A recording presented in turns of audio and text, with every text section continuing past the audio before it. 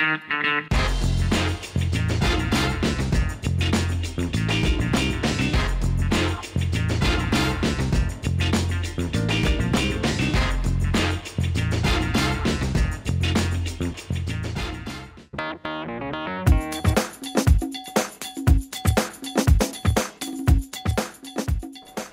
ladies and gentlemen. Welcome back to Stocks Around Us with me, Pizza. Guys, recently I've started to remodel my house and I decided that I'm going to renovate my entire kitchen. So today, we're gonna help me choose the ideal kitchen for my new home. Now, when it comes to designing your kitchen, there are so many things that you have to consider. For example, style is very important. Do you like to have a modern kitchen, a country, or a rustic style? I personally like rustic because it looks very natural. But then it's not just the ambience that you have to look at, you also have to consider the functionality. For example, what kind of cooking style do you like? Do you like to cook many things at once at the stove? Will you be chopping lots of vegetables at the counter? What kind of material is nice to look at, but also easy to clean? How big do you want your cabinets to be? Whoa! I personally like big ones because I eat a lot. You see, there are so many different things to decide on, which is why today we are here to get some expert kitchen advice from a company that designs and manufactures kitchens and wardrobe solutions. Ladies and gentlemen, welcome to Signature International Berhad. Signature International is a Malaysia-based manufacturer and retailer of modular kitchens and wardrobes. Starting with their signature kitchen, the company offers a variety of kitchen concepts from conventional and cozy kitchens to ultra-modern designs. Their product lines include designs such as sleek linear, which is very streamlined and minimalist, contemporary charm, simply natural, which uses a lot of natural elements like wood, and the rustic country style kitchens that create a very homey vintage country feel. In addition, Signature also imports kitchens from Italy and Germany, namely the brands BFB and Nobilia. Nobilia is also the largest kitchen manufacturer in Europe. Apart from kitchen, the company offers a variety of wardrobe collections, for example, there are many types of wardrobe styles, such as the folding door, which allows users to fold away the doors to get a clear view of the clothes, the swing door, or the sliding door, which is great for smaller rooms that want to look bigger, or the luxurious walk-in wardrobe that is like a room of its own, especially for clothes and accessories. Furthermore, Signature also exclusively imports the European wardrobe brand Mazzali, as well as adding to the wide selections they have for their clients.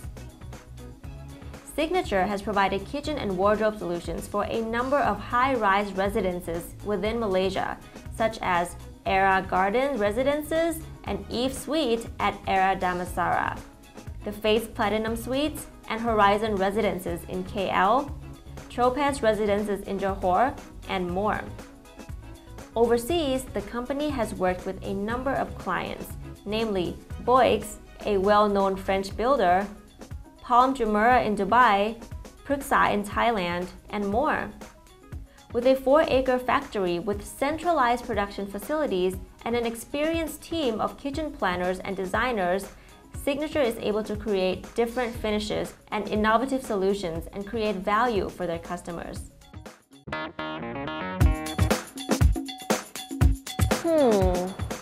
There's so many selections here, I can't seem to decide which handle I should use for my kitchen. Now, while we wait for me to make this decision, let's go and meet our special guest. Ladies and gentlemen, Tan Ki Chung, the MD of Signature International.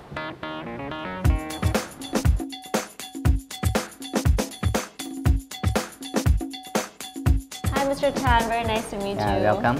Thank you. So, first of all, since your business depends largely on the property development industry in Malaysia, could you just tell us how the property is doing right now, the property market? Oh, the property market, uh, I think, is uh, doing uh, very well since the past five years. Um, there's a lot of uh, new condominium has been launched mm -hmm. for these uh, past few years. I think the property market is actually uh, good in Malaysia. So the residential development is focused on condominium growth or what? Yeah, I think uh, the condominium uh, growth has been uh, quite uh, pretty well, and the prices uh, also uh, has been going up uh, since the five years till now. Yes. yes. Which areas are they growing in? Mainly in Klang Valley, and now the focus also in uh, Iskandar area, Johor.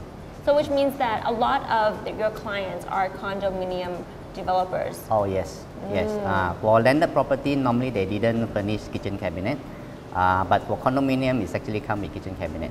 Right. Yeah, as compared with uh, 10 years back, uh, uh, most of the condominium didn't come with kitchen cabinet. It Means to say that uh, nowadays, I think 95% of the condominium actually come with kitchen cabinet, and therefore our market share has been increased tremendously. Ah. Yeah. So right now, if we look at the trends in residential spaces, Mm. and in particular the kitchen and wardrobe design, what's the latest consumer preference? Uh, it's still pretty much uh, on uh, modern, contemporary. Yeah, especially like uh, white, glossy, and simple, sleek linear. Yes. Yeah. E- What about wardrobes? Uh, wardrobes, um, the developer doesn't, uh, most of the developer didn't uh, package in the wardrobe, uh, just kitchen cabinet, and therefore uh, wardrobe is mainly for our retail customer.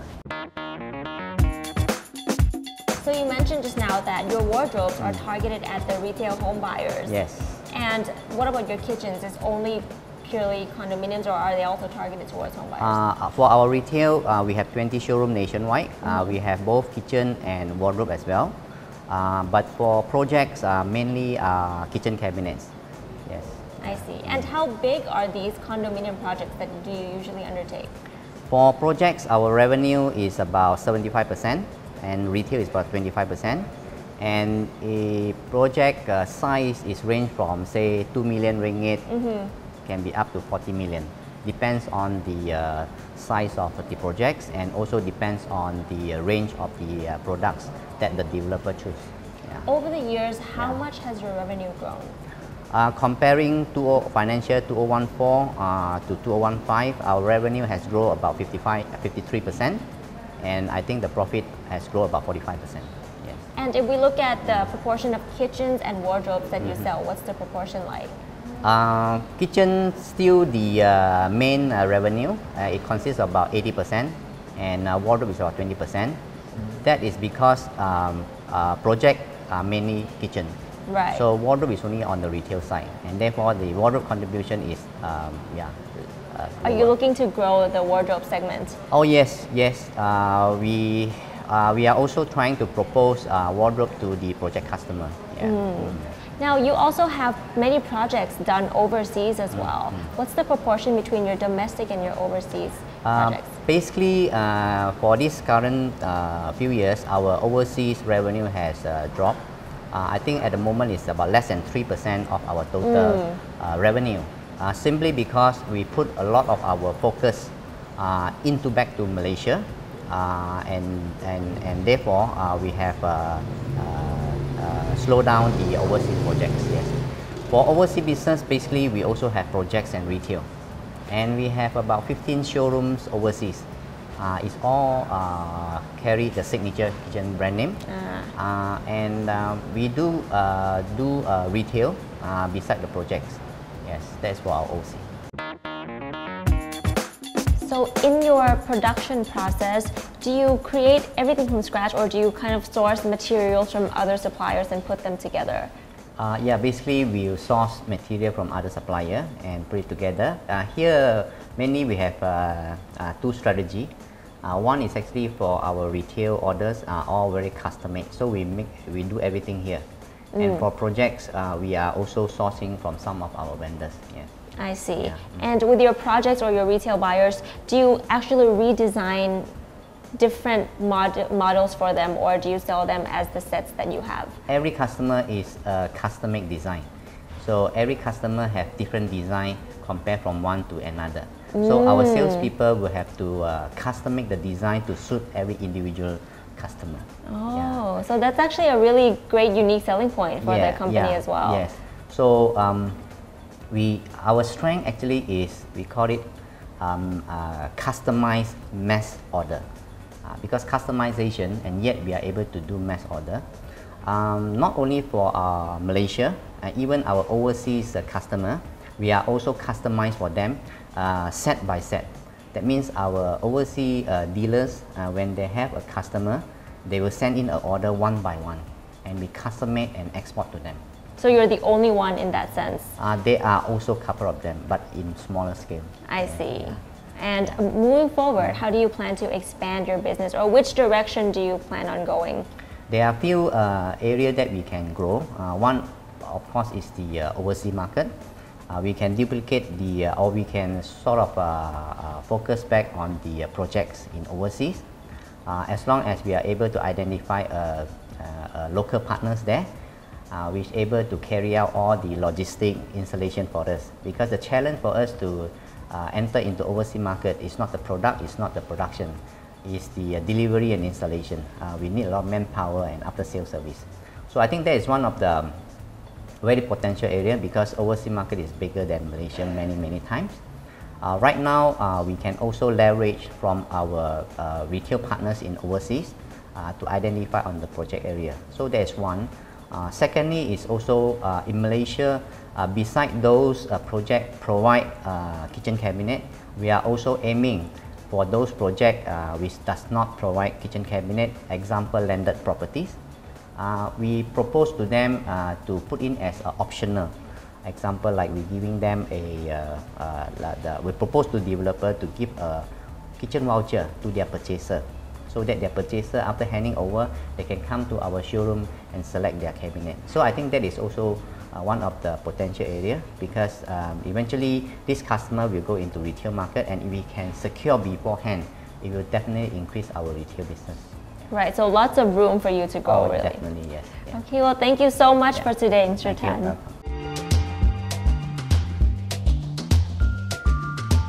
Financial highlights. At the end of 2015, Signature International's revenue was over 270 million ringgits, or 2.4 billion baht, growing by 98% from 2010. Its net profit was over 33.6 million ringgits, or 300 million baht, a growth of 124% in five years. Its net profit margin was around 12% and ROE around 25%. Its PE was at 9 and PBV at 2. At the end of 2015, Signature International's share price was at 1.8 ringgits, or 16 baht, growing by 123%. Its market cap was over 310 million ringgits, or 2.7 billion baht, a growth of 143% in five years. Ladies and gentlemen, that was Signature International Berhad. Join us again next time for more company highlights with Me Pizza. Now guys, since I finally found my dream kitchen, I think it's time that I move on to other rooms. Perhaps I also need a new wardrobe as well. I'm gonna go check out a few closets before we go, guys. See you guys next time. Bye!